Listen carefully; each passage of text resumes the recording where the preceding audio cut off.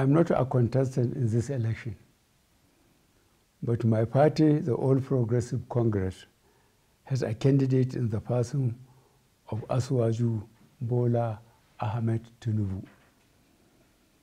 As I mentioned before, Tinubu is a true believer in Nigeria. Tinubu is a true believer in Nigeria who loves the people and the development of our country. I am calling on all of you to vote Asiwaju Bola Ahmed Tinubu.